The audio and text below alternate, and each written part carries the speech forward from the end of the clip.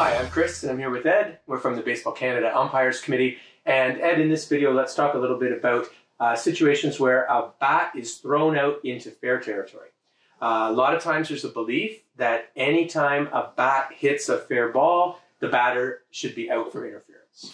Yeah, in a lot of cases, Chris, that's exactly what's going to happen. A batter is responsible for their bat at all times unless broken.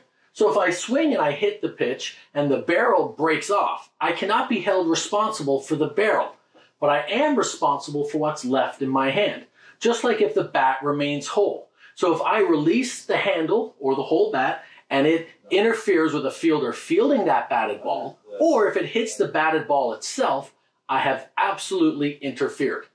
If I release the bat, or even the broken bat, and the ball rolls into it, I have done nothing wrong, and that would not be interference. So it really comes down to does the bat hit the ball? Does the bat interfere with the fielder? Or if it's broken, then it's a whole other ballgame. Yeah, so to wrap that up, most times if a whole bat hits a fair batted ball, the batter is going to be up for interference. But if the bat is stationary and the ball rolls into it, that would not be the case. And if the bat is broken, that would not be the case. So that's batter's interference with a thrown bat and join us for future videos.